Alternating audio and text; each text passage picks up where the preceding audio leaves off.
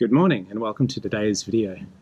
I'm out here at Mount Coot-tha and I'm trying to answer the question, what's the best GoPro mount for capturing a fast downhill descent? So I've got my um, trusty helmet mount.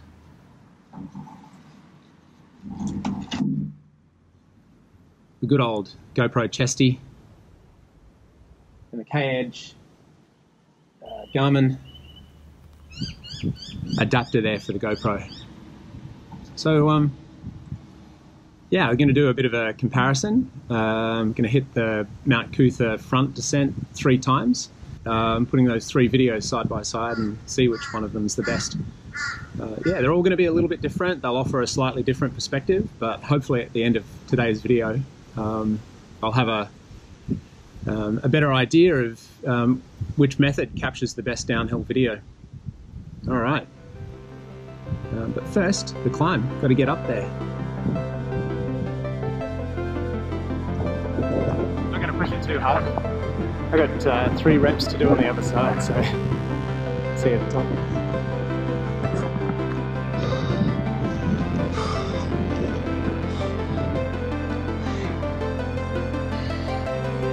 New service. No KOM markers.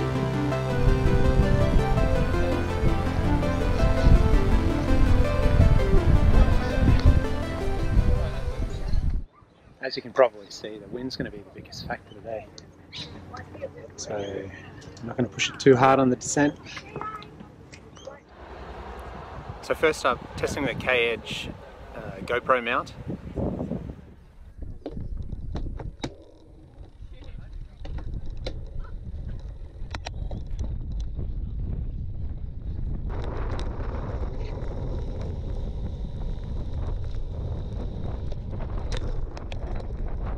Well, here we are. We've um, got a K-Edge out front, and as you can see, there's a bit of wind noise. Um, I wanted to let the car go at this stage, see if I could give it enough room to stay out of the way. Speed, speed limit down here is 50 k's an hour, so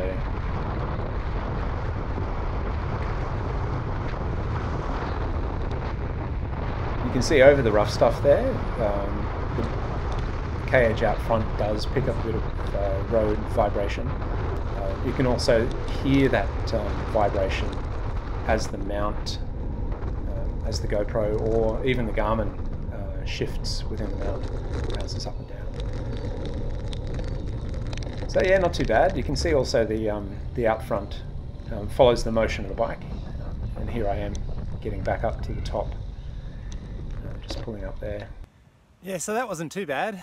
Um, as you can see, I got caught behind a car there. It is pretty windy out there, so I'm going to take it easy. It's time, testing out the GoPro Chesty. Uh, as you can see, uh, some people like to call it crotch cam um, because it does um, put the camera right up under your sternum and you can see your knees popping up in front of your chest there if you're in the tuck. You see the insides of my elbows. You can also see uh, the bottom of my chin. Um, I'm looking down to make sure it's pointing in the right direction. Um, one of the problems I find with the chesty is that you really have to make sure that the angle uh, is right so that you can see the road in front of you. If you're sitting up nice and high, it's um, you know you, you can see the, the front of the bike over the top of the handlebars and down onto the uh, onto the road. But if you're in a full tuck, basically you see the back of the stem and the top tube and the insides of your elbows and the bottom of your chin. So yeah, as you can see, sitting up nice and high here. All right, time for something different. Yeah, so I can't um, waste too much more time up here. Yeah, the GoPro on the, the helmet mount there last descent was pretty quick. Still um, pretty windy out there, so I need to take it easy. I'll get down there and uh, straight off to lunch, I think. Okay, so this time we're testing the GoPro helmet strap. Um, it's one of the simplest um, GoPro mounts you can find. It does require sometimes um, to have the right sort of helmet to make sure you get a good firm uh, base on the helmet. The other thing is if your um, if your helmet isn't quite uh, the right shape, maybe some of the vents are a little bit open, or if parts of the helmet are uh, a little bit flimsy, then you can't really strap it down hard. But here we go. Um, as you can see, again, like the chesty, you do have to make sure the angle is correct, and I've got it, I don't think I've got it quite right here, um, and it does follow the motion of my head, so uh, the closer I get to the stem, the more of the road that you can see. So it does get a bit of vibration, but my head, I don't know, and the helmet seem to damp, dampen that vibration quite a bit, uh, which is a good thing. Um, also, it follows the motion of the head, and you can see if my helmet or my head slightly tilted to the left, you'll get the, the tilted horizon there.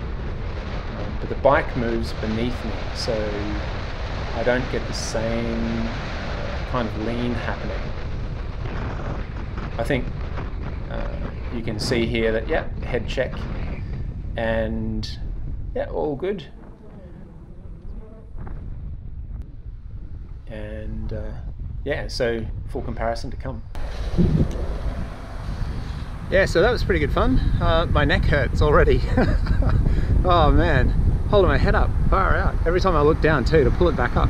Going to uh, switch back to the chesty, just roll in home, and uh, I'll do the comparison a bit later. Cheers. Yeah, so this is where the chesty comes into its own. Uh, it's actually uh, quite handy to demonstrate handling, um, you know, if you're on a technical downhill or getting out of the saddle, that sort of thing. You can see here, on your right. Yep, climbing, On your right. avoiding pedestrians, pedestrians, pedestrians. Sorry. yeah, cornering again. Yeah, so really. Yeah, would you believe it? It just got a flat. Oh no. Okay. Time to fix it.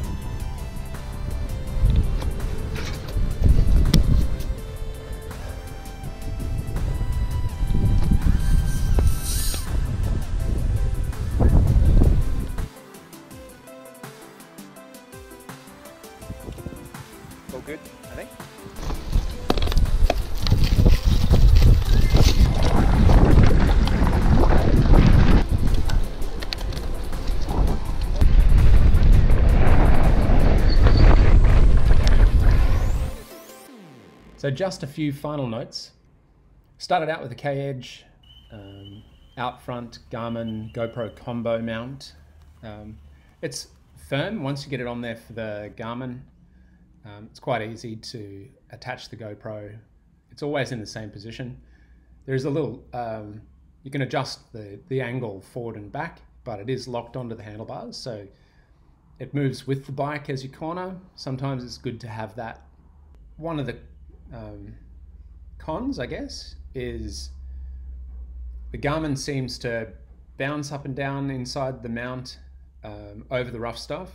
Yeah, so the next one was the uh, the GoPro Chesty, which is a firm favourite of mine. Um, the only downfall with the GoPro Chesty is that it sits really close to your body, so you tend to get your hands in.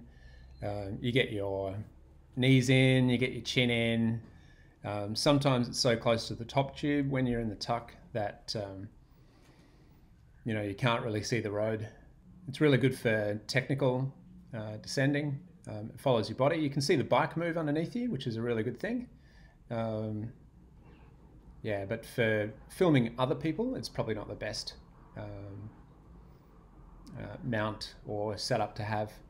So yeah, I'd save save the chesty for those where you want to get people really into that um, first person view. The last one um, in the comparison there was the helmet mount, and that's probably my preference for recording um, a descent. The thing is, it's really heavy, and you've got to get it positioned well um, on your helmet. So preferably right at the back of your helmet, and you've also got to get the um, the angle right on the camera. So uh, you're not looking down at the ground. Um, it is susceptible to having um, a tilt on it if your helmet's tilting or if your head's tilting um, one way or the other.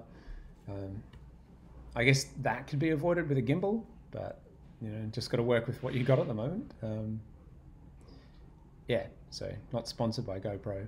Um, anyone with a gimbal out there, they want to loan me, be happy to test it too. All right, that's all for me.